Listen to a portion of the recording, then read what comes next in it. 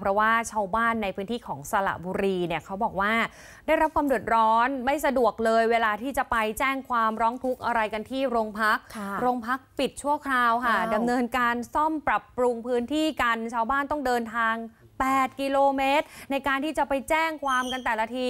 นี่นะ จะสร้างโรงพักกันใหม่ มูลค่านับ 10 ล้านบาทอ้าวชาวบ้านบอกกลับมาเปิดหน่อยเถอะค่ะ เดือดร้อนจะแย่อยู่แล้ว กลายเป็นประเด็นดราม่าไปเลยนะคะ คุณผู้ชมคะ ชาวบ้านเนี่ยบอกว่ามีการสร้างโรงพักนั่นก็คือสถานีตำรวจสพหนองแคสาขาย่อยหินกองเนี่ยนะคะ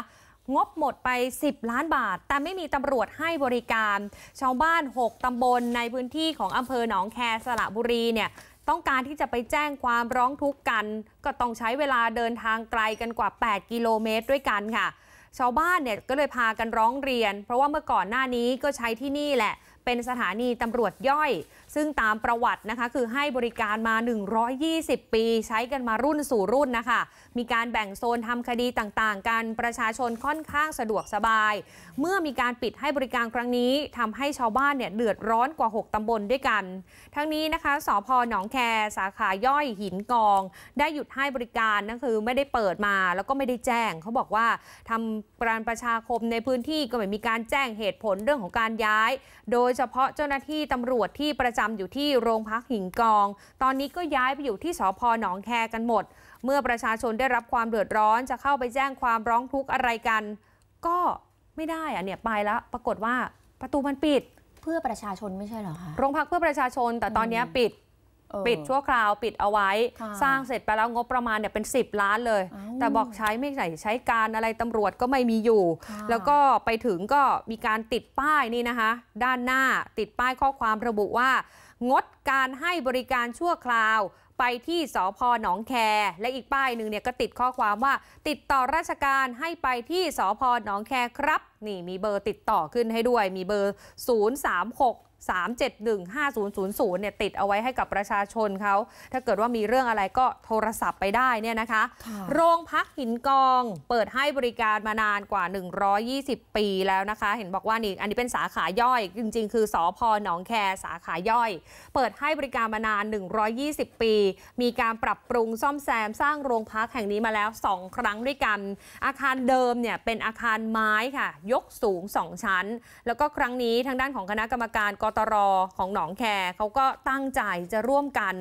ทำวัตถุมงคลค่ะ หลวงพ่อสำเร็จ ศักดิ์สิทธิ์รุ่นประวัติศาสตร์ตำรวจ เพื่อหารายได้มาสร้างโรงพักแห่งใหม่ จนสามารถสร้างได้สำเร็จ ใช้งบประมาณกันไป 10 ล้านบาทในการก่อสร้าง มีการเปิดป้ายอาคารกันไปเมื่อวันที่ 22 กันยายน 2566 ปีที่แล้วค่ะนะครับเนี่ยเปิดทำพิธีเปิดป้ายกันไปอืมชาวบ้านในพื้นที่บอกว่า ตอนนี้เนี่ยในพื้นที่มีของหายเยอะมากบ่อยมากมิเตอร์น้ำเอ่ยอะไรเอ่ยหายกันเป็นประจำหายมากแทบทุกจะหลังคาเรือนเลยจะไปแจ้งความทีหนึ่งก็ต้องไปไกลอะค่ะค่ะ ไปแบบระยะไกล แต่ถ้าไม่แจ้งก็ไม่ได้ เพราะว่าเดี๋ยวจะไม่มีน้ำใช้อืมก็อยากจะให้สอพอหนองแคสาขาย่อยหินกองแห่งนี้ กลับมาเปิดให้บริการให้กับประชาชนเหมือนเดิมหน่อยค่ะ ตอนนี้พี่โรงพักเขาย้ายไปนู่น แล้วมันไกลมาก แล้วบางบางคนเขาไม่มีรถไม่มีอะไรอย่างเงี้ยก็ไปลำบากอย่างบางคนอยู่กับคนแก่อยู่กับหลานอย่างเงี้ยไปแจ้งความก็ลำบากแล้วแถวเนี้ย ของหายบ่อยมากหนึ่งมิเตอร์เลยหายบ่อย ถ้าเกิดไปแจ้งความถ้าเราไปแจ้งตรงนู้นอะถามว่าไปแจ้งได้แต่มันไกลอะพี่ ถ้าเราไม่แจ้งความเราก็ไม่ได้ใช้น้ำอย่างเงี้ยพี่ จริงแล้วเออคือเราบ้านอยู่หินกองใช่ไหมใช่ค่ะ แต่ต้องไปมีสพย่อยใช่ไหมใช่ใช่ค่ะ แต่ก่อนแจ้งได้ แต่เดี๋ยวนี้เขาทำเขาทำเสร็จแล้วเขาไม่ให้แจ้งแจ้งความแล้ว อ๋อหลัง ทำไมจะต้องย้ายไปรวมกันแล้วคะ มีเหตุผลอะไร ตำรวจนี่มันเป็นผู้ที่ประชาชนต้องพึ่งพานะคะ มันไม่สมควรนะคะ เพราะว่าที่นี่มันเมืองใหญ่พอสมควรบนประชาชนเยอะแยะไปหมดเลยเนี่ยน้องแคยังไม่ใหญ่เท่าที่นี่มันเยอะหน้องลุงเยอะมาก ใหญ่มากหนองหินกองใหญ่กว่าน้องแคอีกประชาชนมีค่ะ เพราะว่าพวกเราเดือดร้อนก็ต้องไปหาตำรวจ6ตำบลด้วยกันนะนะคะค่ะที่เขาต้องพึ่งพาอืมโรงพักสาขาย่อยแห่งนี้ของหินกอง เพราะฉะนั้นเขาก็